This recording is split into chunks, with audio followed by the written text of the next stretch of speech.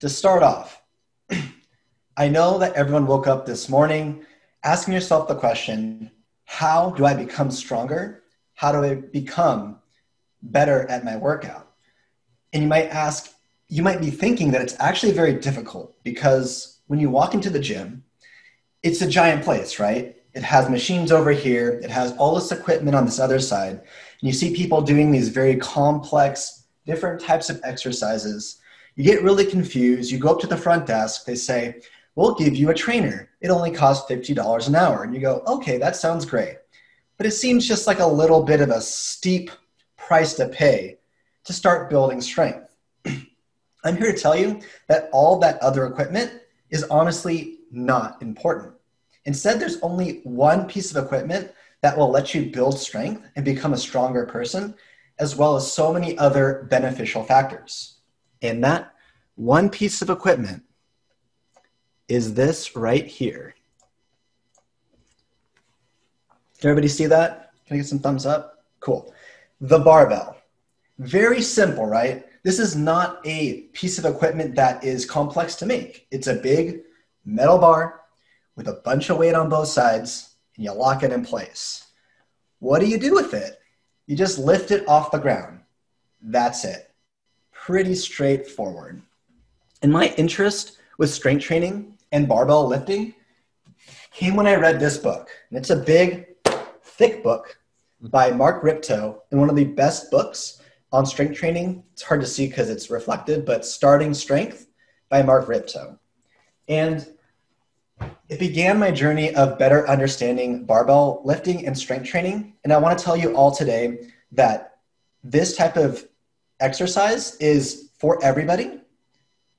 It is relatively simple to do and not complex at all. And it's one of the healthiest ways to build muscle and become a better and stronger person. So, to begin, most people think of strength training and lifting weights as being big, muscly guys that stare at themselves in the mirror. Oh, sorry. But that's what most people think, and this is not true. In fact, lifting weights can be done by anybody. You don't have to be strong, you don't have to be a guy, you don't have to be young. You can be an old woman who has never lifted in their life, and that's totally fine. And in fact, I'd recommend it because when you're lifting weights, you're actually going to be targeting your entire body and building muscle. And that's the best thing that you can do. Yes, there are some stereotypes with it, but I really implore you to push those stereotypes out of your mind and really think about barbells as just a very great way to build strength instead. And then I also want to talk on some of the exercises when you do go to the gym, you might be thinking, wow, there are so many different equipment and it's so much stuff to do. And usually you'll kind of just pick one and kind of play around with it. And nothing really feels like you've been, you haven't really accomplished anything at the end of the day. But with barbell training, there's only three exercises that will target every single muscle group in your body that's important. The first one is going to be the squat. And yes, nobody likes doing the squats, but they're really, really good for you. And now everybody can kind of laugh at me as I demonstrate these exercises. But basically, you take the barbell and it's going to be sitting right here with the weight on it. You're going to go under it and get the weight on your back. You're actually going to flex a little bit to keep it on your, uh, your shoulders and not your neck. You're going to take the weight off. You're then going to get in position and then you squat, just like that. And it's great because the squat is going to target all of your leg muscles and your back. So that's the best part about the squat and yes, it's going to feel really tiring because you're using so many muscle groups, but it's one of the best exercises to develop that lower body strength. And then the next exercise is going to be the press. That's where you're laying down and you're pushing the weight up like this. That's the press.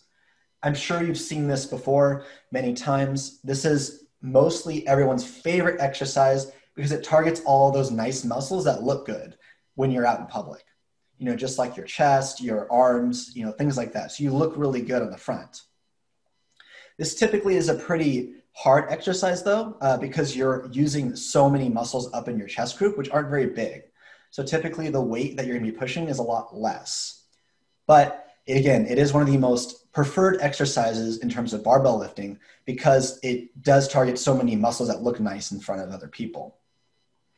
The last one is going to be the deadlift, and this one's pretty straightforward. Deadlift really just means that you're lifting as much weight on the floor and then up. So typically you'll have your barbell and your weight on the floor. You're going to go down here, keep your back nice and straight. You're going to make sure your chest is up, grab the weight, and then lift it up.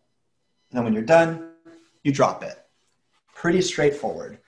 I personally think this one is the hardest exercise for me to do because you're engaging your entire body. You're using your legs, you're using your back, you're using your arms, and you have to make sure that you have a nice grip on the barbell or else it's going to slip and fall. All of those three exercises, so just three, that's all it is. You'll be able to work out your entire body and build muscle. Now, the last thing I want to talk about before I end my speech is that barbell lifting is probably one of the most safe and the most healthy ways to build strength and become a stronger person. All these other types of equipments are going to isolate muscles in your body, which is great if you know what you're doing. If you don't, and you're just using these exercise equipment and you're targeting muscles by themselves and not strengthening other parts of your body to create balance, you're going to end up becoming injured. There's nothing like seeing a guy who has very tiny legs and really big arms walk into the gym. He looks kind of silly and he's also going to probably hurt himself. The plus side with barbell training is that you have to work out your entire body in order to do all three exercises. So you're not going to find imbalance. I have now been lifting for about a year or so, and I've seen some tremendous progress. One thing that I really think is the most beneficial thing is that I used to have shoulder pain a lot. I actually pinched a nerve about a couple years ago, and so there would be some days where I woke up and it'd be an immense pain. But after working my shoulders correctly with barbell training, I was able to remove any pain and I feel fantastic. So I implore you the next time that you want to start a new exercise routine, that at least you think for a moment and instead of going to the other equipment, you pick up one single barbell. Thank you.